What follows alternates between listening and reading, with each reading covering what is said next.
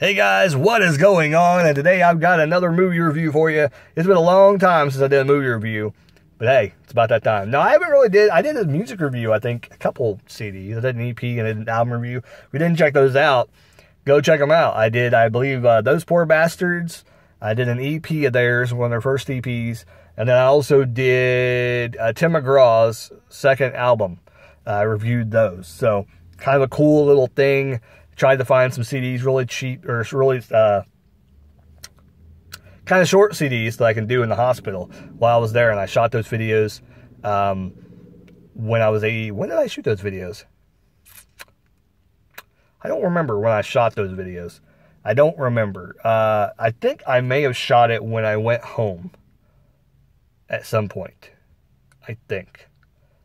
Did I go outside? I know I didn't go outside for those at the hospital. So I don't remember where I shot them, but I know I shot them uh, uh, very shortly after that. So I had some videos ready to go when I got home. So that was very, very cool. Um, I am going to be working on some more albums to review probably tonight at some point. Um, I might try and stay up tonight. We'll see. If not, the video thing will come back at a later date. Um, but movie reviews are mainly my main thing because I can watch movies and take care of the baby at the same time, and that's not a problem. Um, so album reviews and music reviews might kind of go away for the time being, and movie reviews might kind of take the place of everything for now, uh, which is kind of like a backseat to what I really want to do with the channel. But it is what it is. But anyway, let's talk about The Greatest Showman on Earth, I believe is what the movie is called. If not, I'll put the correct title in, in the thing above. Um, but this was a really, really good movie. And uh, my wife kind of wanted, got me into this movie. And I saw the trailer, and I wasn't really intrigued to begin with. But then I found out what the, the well, I kind of knew what the story was going to be about. It's about the people that started the circus for the, pretty much the most part. And, you know, P.T. Barnum, I think was his name. Of him. Yeah, yeah, yeah. And I probably got that wrong. If I got it wrong, I apologize. Um, but it was about him. And I understood. It was really, really cool.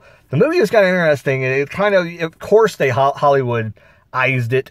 Uh, but um, it was really interesting. I thought it was a good movie. Uh, Hugh Jackman did a great job, and I think he sang during it. It was kind of weird when he sang. Uh, but as soon as I saw that, um, I think Zac Efron was in it, I knew it was going to be a good movie because Zac Efron, when he's in musicals, they're usually pretty dang good. Um, I've seen, I think, another movie with him in it that he did some musical stuff, and it was actually pretty interesting.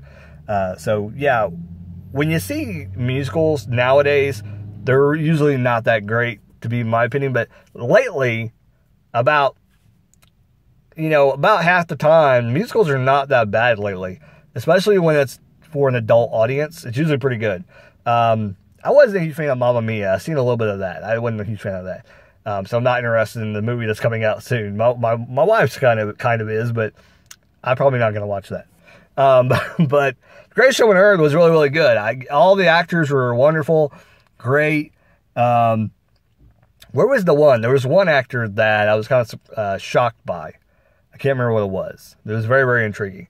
Um, yeah, definitely. I, I would recommend Greatest Showman on Earth. It's out on, I think it's out on DVD now. If not, it's getting ready to come out. Um, but you can, I know you can rent it now on digital, on digital, on demand, whatever. If it's not on DVD yet, but I'm pretty sure it's on DVD now and Blu-ray, whatever. Um, but yeah, there you go. Check it out. I would recommend it. Zac Efron is plays his basic sidekick. Uh, he helps run the show. Um, and Hugh Jackman is the main character in the movie. Uh, basically, you know, it's about him starting this, you know, museum uh, of oddities and things like that. Um, and then it grows from there into the circus. And you guys know what a circus is. If you don't know what a circus is, I feel like you're so deprived. And that's why it's kind of sad. Like nowadays, I don't think there's many circuses around. If you do see a circus, it's probably in small, like very, very small, intimate setting, which is not bad, but it's kind of sad in a way. I, I remember seeing Ringling Brothers and Bailey Circus. Did I say that right? I remember seeing it one time. I went when I was younger. I believe I was eight or nine when I seen it. And I seen it in Indianapolis, Indiana, I remember. I believe it may have been at the Pepsi Coliseum, but I'm not quite sure. I don't remember. It may have been at Market Square. I, I don't know. All I remember is I've been to the circus with my father, and uh, someone else, I thought. I don't really know. I don't remember really much about it. It's kind of a blur, but I do remember going to the circus and seeing that. And I remember, you know, reading the pro, reading over the program and things like that. I also remember going to a smaller circus too with my mom when I was a little older. wasn't really into it, but now looking back, man, it's like, man, why didn't? And I enjoyed it once I got there. I was just in a very pissy mood, I guess, when I was with her. And I don't think I wanted to come up and see her because I think it's one of the points where she didn't have cable, and I was really like down on my luck and mad if I didn't have any TV to watch because I really hadn't really found my creativity yet. I think, but around that time is where I found my creativity.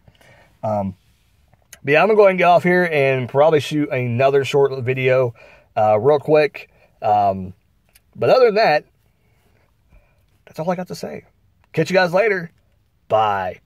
Keep rocking and keep on watching circus movies.